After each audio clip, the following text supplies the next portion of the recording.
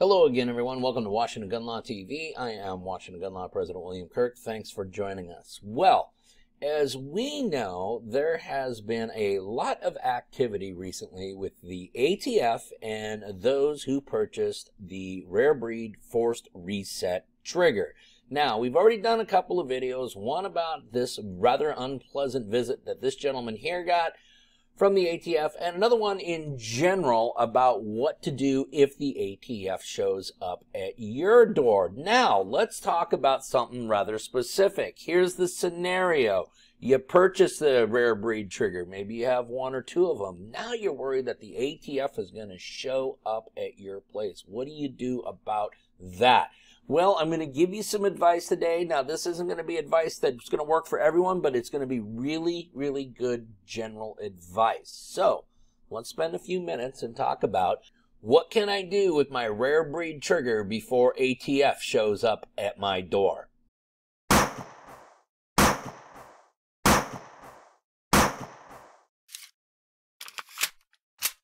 Okay, the issue we're talking about today is an issue that many lawful and responsible gun owners find themselves in through no fault of their own. You see, when the company Rare Breed started making the forced reset trigger, there was absolutely, positively nothing unlawful about it whatsoever. Many, many people, those who are firearms enthusiasts, went out and purchased these triggers for various reasons but one of the things that they did not have to, hoops they did not have to jump through in order to purchase them were any legal loopholes. Why? Because at the time that all of you purchased one of these rare breed triggers, it was completely lawful. Well, fast forward a couple of years later, now suddenly the ATF, as we know, who gets very, very creative with their interpretation of the law, decides, you know, actually we're going to redefine the meaning of machine gun and in doing so we're going to draw a trigger and a trigger component alone into the definition of machine gun. How did they do that? Well here's how.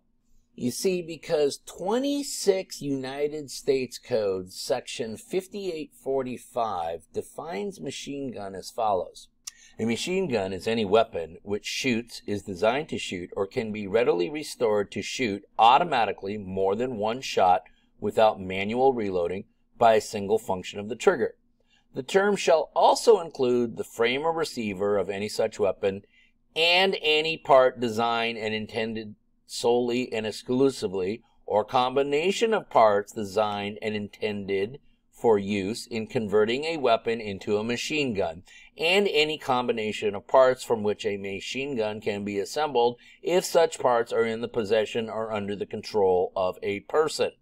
So the ATF is saying, listen, the technology in this forced reset trigger makes the trigger a component of a machine gun, which falls under 26 USC 5845, and therefore it's unlawful contraband. Now, we also know in March of this year that the ATF issued another letter as it related to the forced reset trigger. This letter right here. Now, we're not going to get into all the details. We've already done a video on that. But let us remember how the letter concluded. Based on ATF's determination that FRTs that function as described above are machine guns under the NFA and GCA, ATF intends to take appropriate remedial action with respect to sellers and possessors of these devices. Current possessors of these devices are encouraged to contact ATF for further guidance on how they may divest possession. If you are uncertain whether the device you possess is a machine gun is defined by the GCA and NFA, please contact your local ATF field office. You may consult the local ATF office's webpage for office contact information. And while I think it is very hospitable of the ATF to do that, let me give you a more simplistic translation of what this letter says. We believe that you have committed a crime and therefore we would like you to contact the law enforcement agency for enforcing those crimes right away to assist us in the investigation. If by chance you're uncertain as to whether or not you committed a crime, but maybe did, well, you too should contact us so we can figure it out together. Now, it really doesn't take an attorney who's been doing criminal defense work now for about 25 years to understand that you should not contact and speak with the very law enforcement agency which has already said they believe that you may have committed a crime.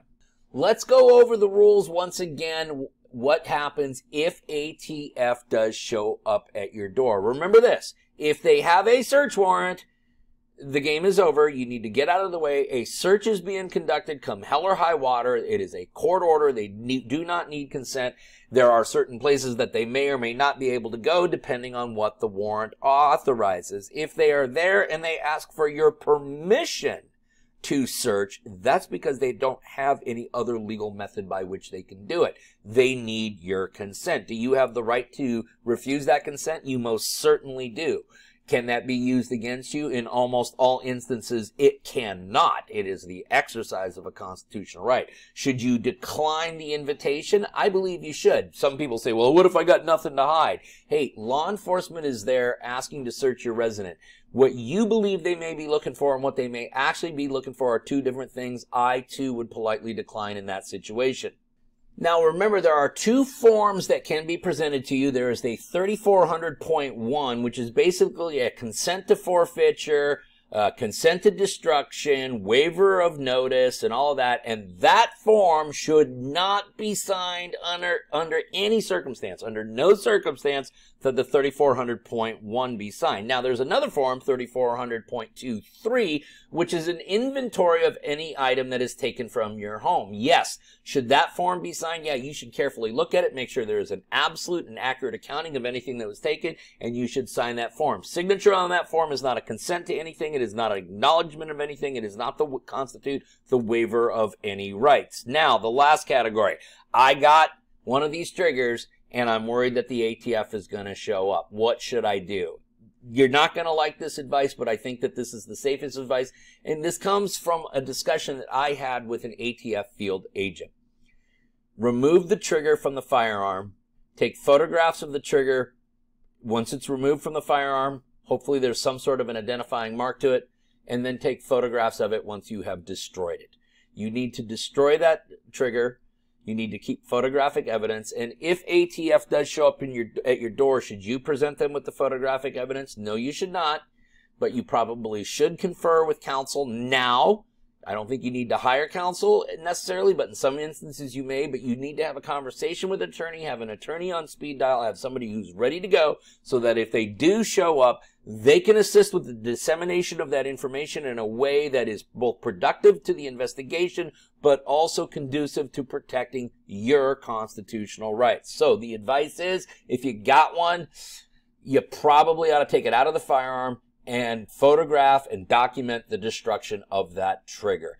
Now, I recognize that I'm going to get a lot of nasty comments down in the comment section that this is total BS, that this is completely unconstitutional, that the ATF is tyrannical. I agree with all of that. These videos are not meant to endorse the ATF's position. Remember our role here at Washington Gun Law is to teach you what the law is, how the law is being enforced so that you can make educated decisions about how to operate within the confines of it, or if you choose not to operate within the confines of the law, at least you are aware of the consequences of those choices. Listen, I know you're going to have more questions about this, and if you do, remember you can always contact us at WashingtonGunLaw.com or you can call us directly at 425-765-0487. Now, let's remember, part of being a lawful and responsible gun owner, like we preach all the time here at Washington Gun Law, is to know what the law is in every situation and how it applies to you in any instance that you may find yourself. Until next time, thanks for watching. Stay safe.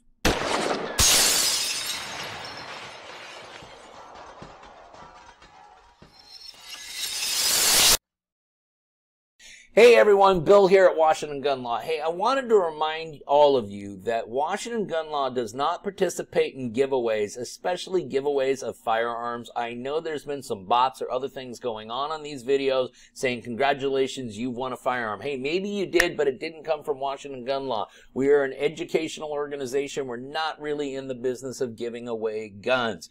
Listen, we've crossed over 63,000 subscribers and it wouldn't be for all, unless it was all of you, the law lawful and responsible gun owners out there nationwide. Thank you very much from the bottom of our heart for all your support. All of you. Stay safe.